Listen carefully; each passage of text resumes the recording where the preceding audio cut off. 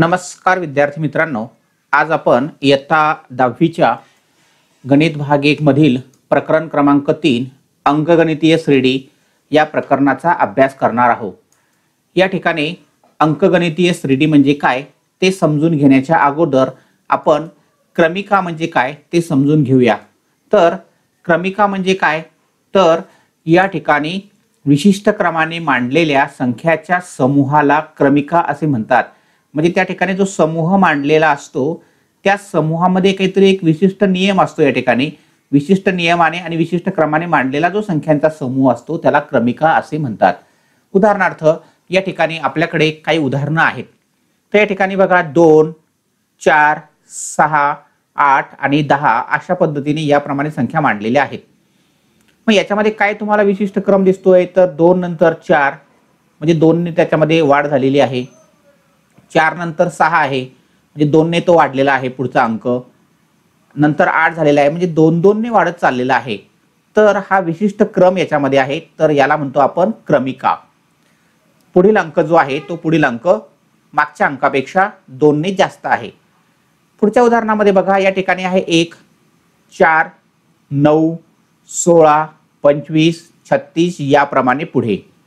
आता याच्यामध्ये जर तुम्ही निरीक्षण केलं तर तुम्हाला असं दिसून येईल की पहिली जी संख्या आहे या ठिकाणी एक ही मांडलेली तो एकचा वर्ग आहे या ठिकाणी. त्याच्यानंतर जी दुसरी संख्या आहे तो दोनचा वर्ग आहे या ठिकाणी. त्याच्यानंतर तिसरी संख्या जर बघितली आपण ही नऊ तर तो तीनचा वर्ग आहे. त्याच्यानंतर ही जी सोळा आहे हा चारचा वर्ग आहे. नंतर पाचचा वर्ग नंतर सहाचा वर्ग. म्हणजे या ठिकाणी आपण म्हणू शकतो तीनचा वर्ग त्यानंतर पुढे चारचा वर्ग त्याच्यानंतर पुढे पाचचा वर्ग साहजिकच पुढे सहाचा सातचा आठचा नऊ दहा अशा नैसर्गिक संख्यांचे वर्ग या ठिकाणी क्रमाने मांडलेले आहेत.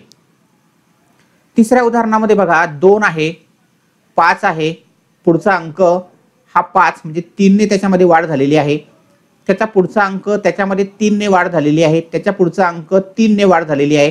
म्हणजे या ठिकाणी तुम्हाला जर पुढचा अंक विचारला या ठिकाणी परीक्षेत विचारतात की ही क्रमिका आहे आणि या क्रमिकेच्या मधील पुढील दोन संख्या लिहा. तर मग आता या ठिकाणी हा जो नियम आहे तीन तीनने वाढ झालेली तर इथं आपण तीनने जर वाढ केली तर या ठिकाणी चौदा येतील. पुन्हा पुढे या ठिकाणी जर आपण त्याच्यामध्ये वाढ केली तर सतरा येतील. अशा पद्धतीने आपल्याला दोन पद विचारली असतील तर दोन लिहावे लागतील आपल्याला. तीन चार विचारली तर त्याप्रमाणे सुद्धा आपल्याला या ठिकाणी लिहिता येतील. तर याला म्हणतो आपण क्रमिका. उदाहरण क्रमांक चारमध्ये या ठिकाणी आहे एक इथं आहे आठ सत्तावीस आणि छत्तीस. आणि याप्रमाणे पुढे. थोडंसं निरीक्षण केलं तर तुमच्या लक्षामध्ये येईल की पहिली संख्या हा एकचा घन आहे. एकचा घन एक आहे. त्याच्यानंतर दुसरी संख्या हा दोनचा घन आहे. दोनचा घन आठ होतो. तिसरी संख्या तीनचा घन आहे. तीनचा घन सत्तावीस होतो. पुढची संख्या चारचा घन आहे. साहजिकच त्याच्यानंतरची संख्या असणार आहे एकशे पंचवीस म्हणजे पाचचा घन. त्याच्यानंतर दोनशे सोळा याप्रमाणे नैसर्गिक संख्यांची घन या ठिकाणी मांडलेले आहे. ही सुद्धा क्रमिका आहे. आता या ठिकाणी पाचव्यामध्ये बघा तर एक नंतर तीन आहे तीन नंतर पाच आहे पाच नंतर सात नऊ अकरा म्हणजे ह्या विषम संख्या आहेत. विषम नैसर्गिक संख्या आहेत थोडक्यात ह्या. मग या विषम नैसर्गिक संख्या असल्यामुळे आपल्याला जर पुढच्या संख्या विचारल्या तर सांगता येतील. म्हणजे ही सुद्धा या ठिकाणी क्रमिका आहे. त्यानंतर शेवटचं उदाहरण बघा या ठिकाणी सहा बारा अठरा चोवीस याप्रमाणे म्हणजे हा सहाचा पाढा आहे थोडक्यात. बरोबर आहे? म्हणजे जी संख्या आहे पुढील तर ती सहाने त्याच्यामध्ये वाढ झालेली तुम्हाला दिसून येते. तर अशा प्रकारे आपण या ठिकाणी एक पासून तर सहापर्यंतच्या उदाहरणांमध्ये बघितलं की संख्यांचा तो समूह आहे आणि त्याच्यामध्ये विशिष्ट क्रमाने त्या संख्या मांडलेल्या आहे. आता तुम्हाला या ठिकाणी काही क्रमिका दिलेल्या आहेत. पुढची तीन पदं आपल्याला शोधायची आहेत. तर शोधूया आपण तीन पदे. तर पहिल्या उदाहरणामध्ये पहिलं पद आहे शंभर दुसरं सत्तर आहे तिसरं चाळीस त्याच्यानंतर चौथं दहा. आता आपल्याला पुढचं पद शोधायचे पुढची तीन पदं शोधायची याप्रमाणेच. तिथं आपण निरीक्षण करूया की शंभर नंतर सत्तर आले. म्हणजे याच्यामध्ये तीसने कमी झाली आहे संख्या ती सत्तर नंतर चाळीस म्हणजे या ठिकाणी बघा वजा तीस केले थोडक्यात आपण अगोदरच्या याच्यातून. सत्तर नंतर चाळीस आले म्हणजे या ठिकाणी सुद्धा वजा तीस केले. चाळीस मधून आपण जर तीस वजा केले तर दहा येतात. मग आता या दहा मधून जर तुम्ही तीस वजा केले तर या ठिकाणी वजाबाकी येणार आहे ऋण वीस म्हणजे पुढचं पद या ठिकाणी असणार आहे ऋण वीस. आता या वीस मध ऋण वीस मधून आता आपल्याला पुन्हा ऋण तीस वजा केले तर त्या ठिकाणी ऋण पन्नास हे पद आपल्याला या ठिकाणी मिळेल. आणि या ऋण पन्नास मधून जर आपण पुन्हा ऋण तीस याच्यामध्ये हे केलेत तर त्या ठिकाणी आपल्याला पुढचं पद मिळणार आहे ऋण ऐंशी. अशा पद्धतीने आपण या ठिकाणी ही तीन पदे मिळवलेली आहेत. तुम्हाला या ठिकाणी परीक्षेमध्ये दोन पदे मिळवा किंवा तीन पदे मिळवा अशा प्रकारचा प्रश्न हमखासपणे विचारलेला असतो. दुसरं एखादं उदाहरण बघूया. ऋण सात नंतर ऋण चार आहे. मग आता याच्यामध्ये जर तुम्ही निरीक्षण केलं तर तुम्हाला असं दिसून येईल की या ठिकाणी अधिक तीन केलेले आहेत. ऋण सात अधिक तीन म्हणजे ऋण चार येतात. ऋण चारमध्ये जर आपण अधिक तीन केले तर ऋण एक उत्तर येते. ऋण एक मध्ये जर आपण अधिक तीन केले तर धन दोन येतात. मग या धन दोन मध्ये जर आपण तीन मिळवले तर साहजिकच या ठिकाणी संख्या येणार आहे पाच. म्हणजे पुढचं पद जे आहे ते पाच असणार आहे. आता या पाच मध्ये जर पुन्हा तुम्ही तीन मिळवले तर तुम्हाला या ठिकाणी त्याच्या पुढचं पद मिळणार आहे आठ. आणि या आठमध्ये जर तुम्ही पुन्हा तीन मिळवले तर तुम्हाला पुढील पद जे आहे ते पुढील पद मिळणार आहे अकरा. या पद्धतीने आपण अशा दिलेल्या क्रमिकेमधील पदांमध्ये काय सहसंबंध आहे तो लक्षात घेऊन आपल्याला क्रमिकेमधील पुढील पदे मांडता येतात. तर अशा पद्धतीने आपल्याला परीक्षेमध्ये प्रश्न विचारतात तर आपल्याला याचं उत्तर सांगता आलं पाहिजे. आता आपण क्रमिका यास या क्रमिकेबद्दलची माहिती घेतलेली आहे आपण. क्रमिका म्हणजे काय? या क्रमिकेंची माहिती घेतलेली आहे. शेवटची एक क्रमिका आपण बघूया. तर या ठिकाणी ही सुद्धा क्रमिका आहे. तर याच्यामध्ये शून्य मिळवलं आपण शून्य. काहीच संख्या नाही मिळवली. म्हणजे शून्य मिळवलं. याच्यामध्ये जर शून्य मिळवलं तर पुन्हा पुढचं पद मिळेल. म्हणजे याच्यामध्ये जर शून्य मिळवलं तर पुढचं पद मिळेल. तर पुढचं पद या ठिकाणी काय असणार आहे? तर साहजिकच चार असणार आहे. पुन्हा शून्य मिळवलं तर या ठिकाणी पुन्हा चार असणार आहे. पुन्हा शून्य मिळवलं तर या ठिकाणी चार असणार आहे. म्हणजेच या ठिकाणी या क्रमिकेमधील पुढची पदे सुद्धा या ठिकाणी समानच आहेत. तीच आहे चार चार चार याप्रमाणेच आहे. आपण आता क्रमिका म्हणजे काय आणि त्या क्रमिकेच्या लगत म्हणजे पुढची पदं कशी मिळवतात याचा अभ्यास केलेला आहे. आता या ठिकाणी जर तुम्ही पहिल्या उदाहरणामध्ये निरीक्षण केलं तर ऋण तीस मिळवले की पुढची संख्या भेटते. याच्यामध्ये धन तीन मिळवले की पुढची संख्या भेटते आणि इथं शून्य मिळवलं की आपल्याला पुढची संख्या प्राप्त होते. तर आता आपण अंकगणितीय श्रेणीची व्याख्या लक्षात घेणार आहोत. तर आता आपण ज्या क्रमिका बघितलेल्या आहेत तर त्या सर्वच्या सर्व क्रमिकांना आपण अंकगणितीय श्रेणी म्हणणार नाही किंवा त्यांना अंकगणिती श्रेणी म्हणत नाही. मग अंकगणिती श्रेणी कोणाला म्हणायचं आहे? की ज्या क्रमिकेमध्ये कोणत्याही दोन पदांमधील फरक हा स्थिर असतो स्थिर म्हणजे याचा अर्थ समान. स्थिर म्हणजे याचा अर्थ समान सारखाच असतो. काही असेल तो धन असेल ऋण असेल शून्य असेल पण समान आहे. अशी जर क्रमिका असेल तर त्या क्रमिकेला आपण यापुढे म्हणणार आहे अंकगणितीय श्रेणी की ज्या क्रमिकेमधील फरक समान आहे. अशा क्रमिकेला या ठिकाणी अंकगणितीय श्रेणी असे म्हणतात. आता या ठिकाणी आपण बघूया. या उदाहरणामध्ये या उदाहरणामध्ये पहिलं उदाहरण ही क्रमिका आहेच. हे सगळे उदाहरणं क्रमिकेचेच आहे. पण याच्यामधल्या लगतच्या पदांमधला फरक बघा. इथं दोन आहे इथं दोन आहे इथं दोन आहे इथं दोन आहे. म्हणजे या ठिकाणी फरक हा जो आहे हा फरक समान आहे.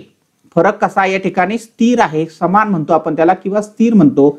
म्हणून मग या क्रमिकेला तुम्ही अंकगणितीय श्रेणी म्हणू शकता किंवा तिला म्हणता येईल.